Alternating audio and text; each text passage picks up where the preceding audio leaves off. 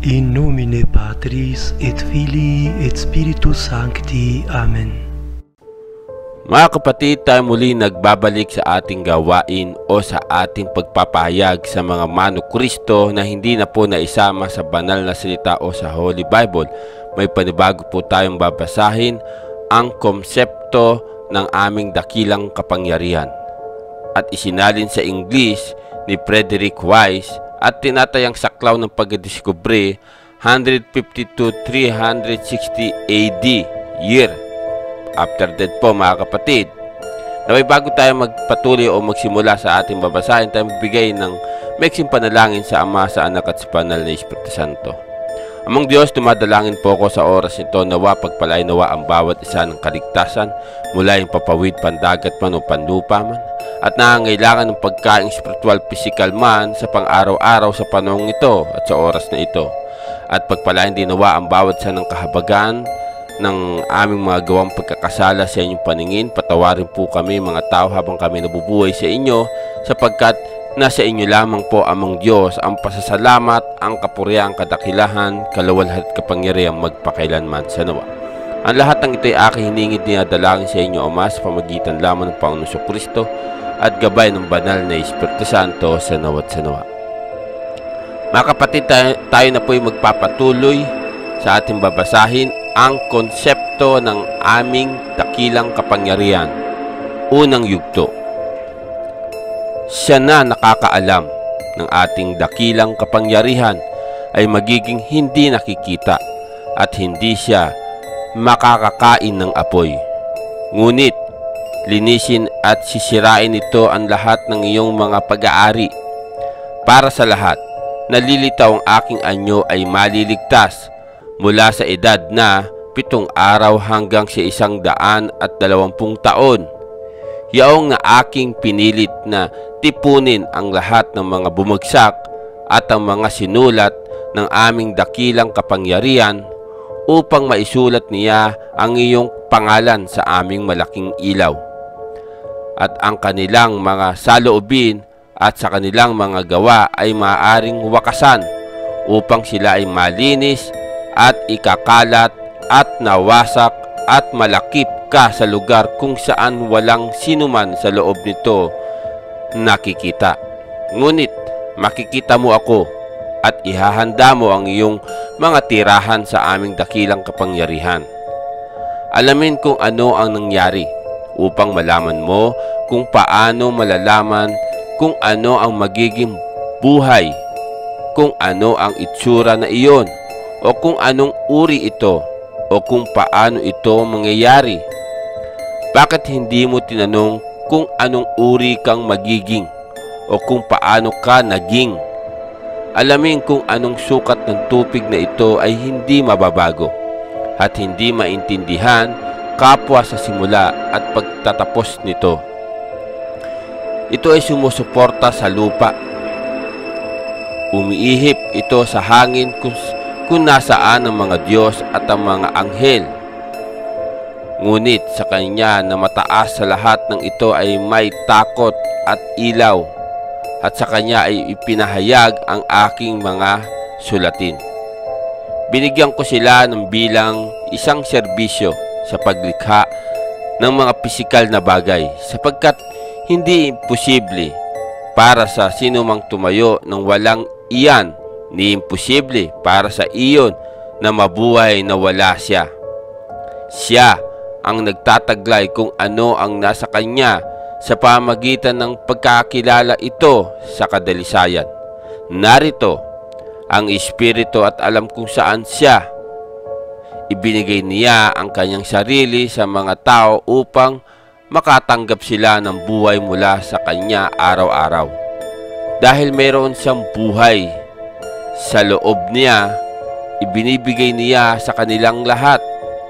Pagkatapos ang kadiliman kasama si Hades ay kumuha ng apoy at siya ang kadiliman ay magpapalaya sa kanyang sarili kung ano ang akin. Ang kanyang mga mata ay hindi magagawang upang matiis ang aking liwanag Matapos gumalaw ang mga espiritu at tubig ang malalabi ay naging ang buong tunog ng paglikha at ang kanilang mga kapangyarihan. Ang apoy ay lumabas mula sa kanila at ang kapangyarihan ay dumating sa gitna ng mga kapangyarihan. At ang mga lakas na nais na makita ang aking imahe at ang kaluluwa ay naging replika nito. Ito ay trabaho na dumating sa pagiging.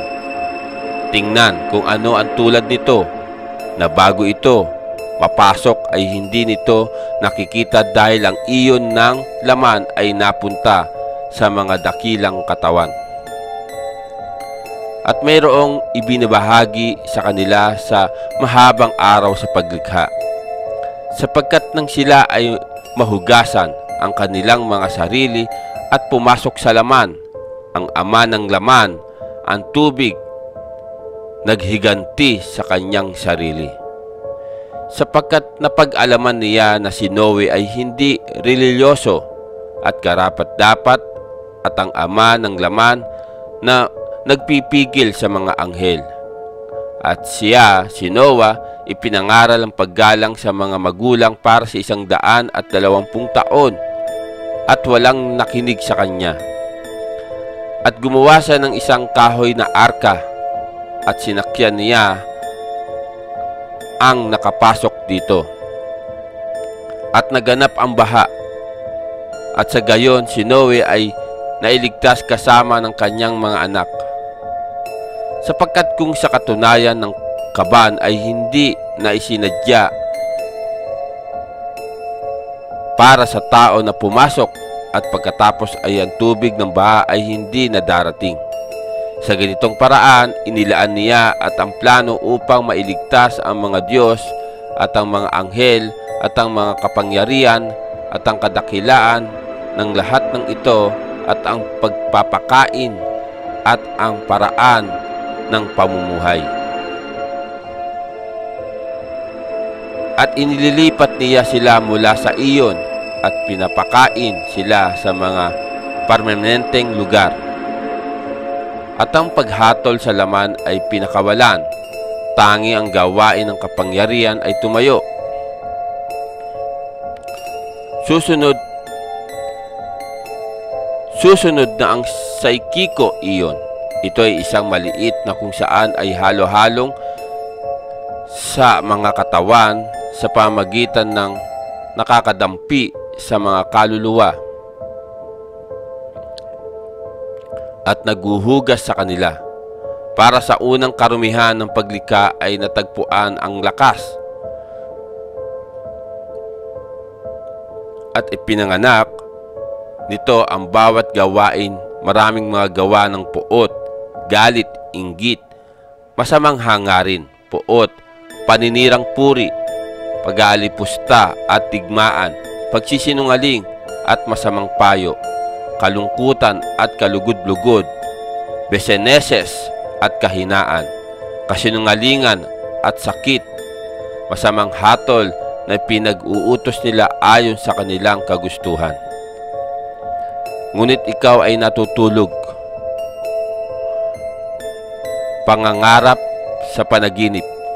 Gumising at bumalik, tikman at kumain ng totoong pagkain ipasa ang salita at tubig ng buhay, tumigil sa mga masasamang pagnanasa at kagustuhan at mga turo ni mga anomien, masamang erehes na walang batayan. At ang ina ng apoy ay walang lakas. Siya ang nagdala ng apoy sa ibabaw ng kaluluwa at ang lupa at siya ay paso sa lahat sa tirahan na nasa loob nito at nawala ang pastol nito. Bukod dito, kapag wala siyang nakikitang iba pang susunugin, masisira niya ang sarili. At ito ang magiging walang laman, walang katawan, at susunugin ang bagay hanggang sa malinis na nito ang lahat at ang lahat ng kasamaan. Sapagkat kapag wala itong nakitang pag masusunog, tatalikod ito hanggang sa masira ang sarili. Mga kapatid, tayo po ay magkakaroon ng pangalawang yugto, no? tayo magkakaroon ng pangalawang yugto sa ating binabasa ang konsepto ng aming dakilang kapangyarihan. Mga kapatid, kung sino man po makarinig o maka-play ito sa video na ito, nawa, bigyan ng pagpapalang kaunawaan sa pamagitan ng Panginoon Kristo at gabay ng banal na Espiritu Santo among Diyos na sa inyo lamang po ang pasasalamat. Kapurang kadakilan, kalawalatian, lahat ng ito ay aking hiningit dinadalangin sa inyo, Ama, sa pamagitan lamang ng Panginoon Kristo at gabay ng banal na Espiritu Santo. Maraming maraming salamat po, Ama, na banal na Espiritu Santo sa nawat sa